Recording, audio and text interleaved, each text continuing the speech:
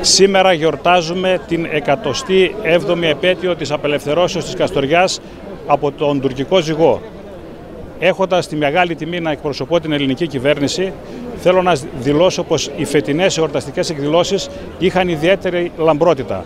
Σε αυτό συνέβαλαν από την μια μεριά η τελετή αναπαράστασης της κατάληψης της Καστοριάς της απελευθέρωσης από τον τουρκικό ζυγό που έγινε τις προηγούμενες μέρες με πρωτοβουλία του Δήμου Καστοριάς και από την άλλη το γεγονός ότι συγχωροστάτησαν στις λειτουργίες τρεις Μητροπολίτες. Αυτό έχει γίνει κι, κι άλλες φορές. Αλλά αυτή τη φορά πέρα από τον πιμενάρχη μας, τον Σεβασμιότατο Μητροπολίτη κύριο Σεραφείμ, οι άλλοι δύο Μητροπολίτες είναι πνευματικά τέκνα της δικιάς μας Μητρόπολης.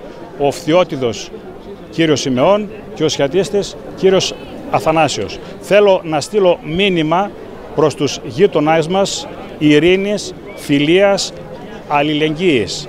Και από την άλλη μεριά να δηλώσουμε προς όλους πως οι Έλληνες είμαστε ενωμένοι και αποφασισμένοι πάντοτε να, να υπερασπιζόμαστε τα απαράγραπτα εθνικά δίκαια, τα δίκαια που ε, προκύπτουν από τις συνθήκες και τους ε, νόμους και το, το, το διεθνές ε, δίκαιο και είμαστε αποφασισμένοι ποτέ να μην υποστήλουμε τη σημαία των δικαιωμάτων τους, του γένους και των συμφερόντων του έθνους μας. Και κλείνοντας, θέλω να πω πως ε, να πω κάτι για τα επίκαιρα ζητήματα που, που, που απασχολούν τον ελληνισμό, όπως είναι το προσφυγικό μεταναστευτικό. Παίρνοντας τα λόγια του ε, εκφωνήσαντος τον πανηγυρικό της ε, ημέρας σήμερα, ο οποίος είπε ότι ο επίλαρχος Ιωάννης Άρτης όταν, όταν απελευθέρωσε την Καστοριά απευθυνόμενος προς όλους τους κατοίκους, χριστιανούς, μουσουλμάνους και Εβραίους, είχε πει πως και οι μουσουλμάνοι και οι Εβραίοι Καστοριανοί να γνωρίζουν πως εφόσον σέβονται τους νόμους και τους κανόνες του ελληνικού κράτους δεν έχουν να φοβηθούν τίποτε. Αυτή η κουβέντα του απελευθερωτή της Καστοριάς είναι επίκαιρη και σήμερα.